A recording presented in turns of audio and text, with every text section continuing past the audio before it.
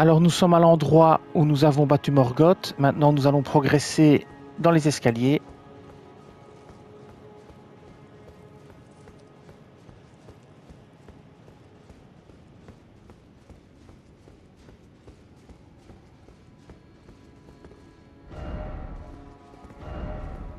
Et on va toucher le mur d'épines.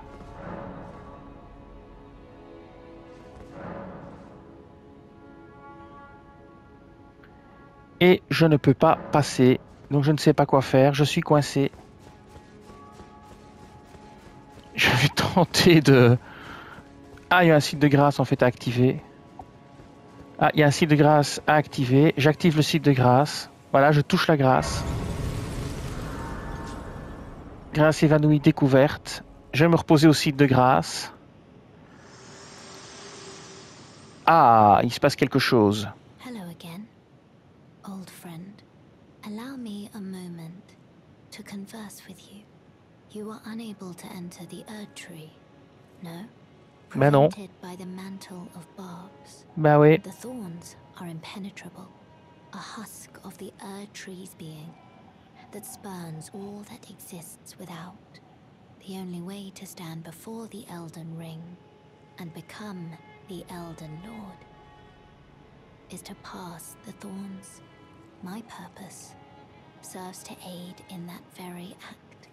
So I'd like you to undertake a new journey with me to the flame of ruin, far above the clouds, upon the snowy mountain tops of the giants. Then I can set the Erd Tree aflame and guide you down the path to becoming Elden Lord. Nous obtenons le médaillon de Rold. Et un symbole rouge a été inscrit sur ma carte. Alors je vais parler à Mélina. I wish to journey with you once more to the flame of ruin, far above the clouds, upon the snowy mountain then. Elle dit la même chose. Donc je vais m'arrêter ici. Et je vais me reposer au site de grâce. Et la vidéo va s'arrêter ici. Nous sommes au trône, au trône d'Elden, ici. Voilà, près de la capitale royale.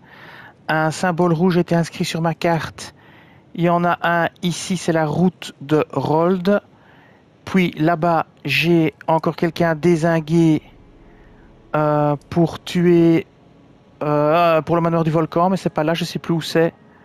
Peu importe. On verra bien. La vidéo s'arrête ici. Je vous dis merci et à bientôt.